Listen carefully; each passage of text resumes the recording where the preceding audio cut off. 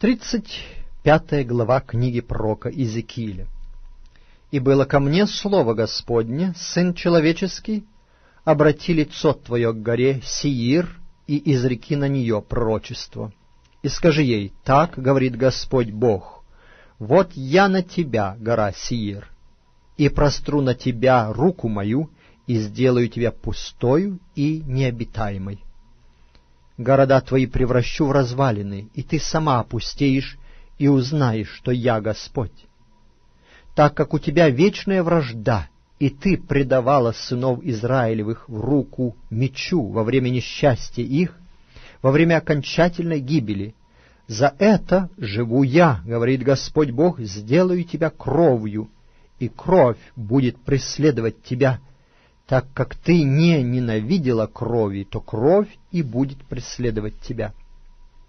И сделаю гору Сиир пустою и безлюдную степью, и истреблю на ней приходящего и возвращающегося, и наполни высоты ее убитыми ее, на холмах твоих и в долинах твоих, и во всех рытвинах твоих будут падать сраженные мечом.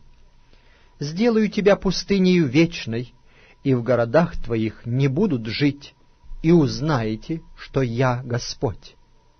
Так как ты говорила, эти два народа и эти две земли будут мои, и мы завладеем ими, хотя и Господь был там.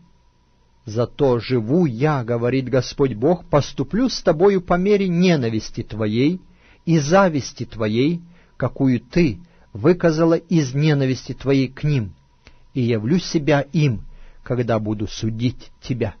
И узнаешь, что я, Господь, слышал все глумления твои, какие ты произносила на горы Израилевы, говоря, «Опустели, нам отданы на съедение».